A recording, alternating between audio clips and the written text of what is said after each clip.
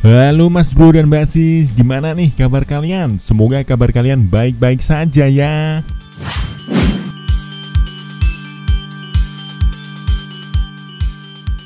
Akademi sepak bola milik Barcelona, La Masia, sudah dikenal menghasilkan talenta berbakat.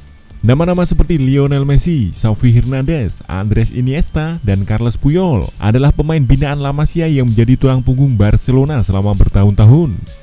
Namun tidak semua pemain didikan La Masia bisa menembus tim utama Barcelona. Bahkan kebanyakan dari mereka harus menjalani karirnya di klub lain. Meski begitu, Barca tidak pernah ragu memulangkan pemain akademi mereka yang sudah dilepas ke klub lain. Sebagai contohnya ada Gerard Pique, Jordi Alba, dan Cesc Fabregas. Barcelona kini dikabarkan tengah tertarik memulangkan beberapa mantan pemain akademi La Masia yang sedang bermain di klub lain. Nah, kali ini Tidur di Hutan mau membahas. Empat pemain lulusan La Masia ingin dipulangkan Barca.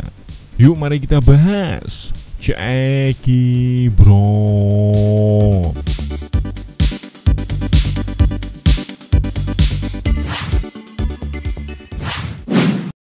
Number one.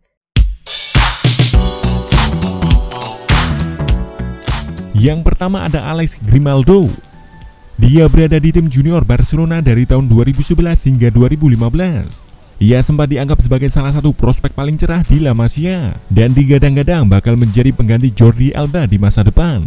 Namun bek kiri asal Spanyol itu justru dilepas pada tahun 2016 saat Barcelona mendatangkan Lucas Digne dari PSG. Menariknya, Digne justru gagal di Barcelona dan kemudian dijual ke Everton. Seolah ingin menebus kesalahan mereka, Barcelona dikabarkan sedang memantau perkembangan Grimaldo di Liga Portugal. Oleh karena itu, tidak akan mengejutkan jika pada akhirnya Grimaldo kembali ke Camp Nou dalam waktu dekat.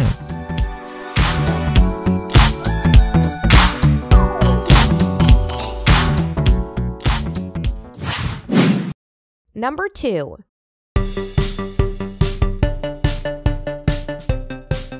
Yang kedua ada Andre Onana. Setelah bergabung dengan tim junior Barcelona pada tahun 2010, Onana pergi ke Azak lima tahun kemudian.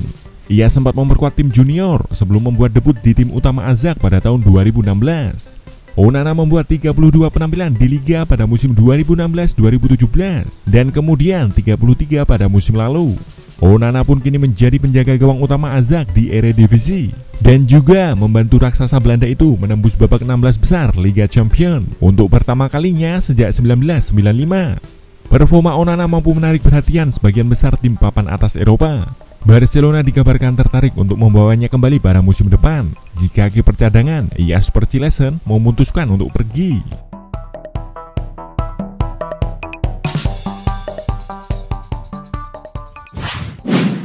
Number three.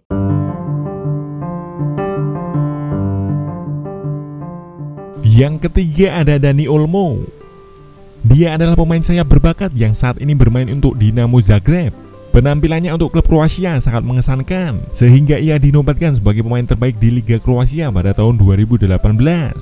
Pemain berusia 20 tahun itu sebelumnya pernah bermain untuk tim junior Barcelona antara 2009 hingga 2014 setelah bergabung dari klub rival Espanyol. Sebelum sang pemain secara mengejutkan memutuskan untuk pindah ke Zagreb. Beberapa rumor menyatakan bahwa Barcelona tertarik untuk membawa Olmo kembali ke Camp Nou. Namun mereka akan menghadapi persaingan dari musuh bebuyutannya, Real Madrid.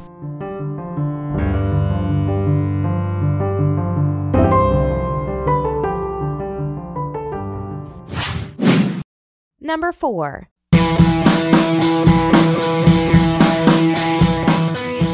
Yang keempat ada Thiago Alcantara. Dia sempat bermain di tim utama Barcelona pada era kepemimpinan Pep Guardiola. Namun sang pemain jarang mendapat kesempatan bermain reguler dan memutuskan mengikuti Guardiola ke Bayern Munchen pada tahun 2013. Sejak itu, ia terus memperkuat reputasinya sebagai salah satu gelandang terbaik di dunia. Bahkan pelatih Barcelona saat ini, Ernesto Valverde, juga sangat mengagumi sang pemain. Selama beberapa tahun belakangan ini, Thiago sudah cukup sering dikaitkan dengan kembalinya ke Barcelona. Sang pemain sudah mengisyaratkan dirinya bersedia kembali ke klub yang sudah ia anggap sebagai rumahnya sendiri.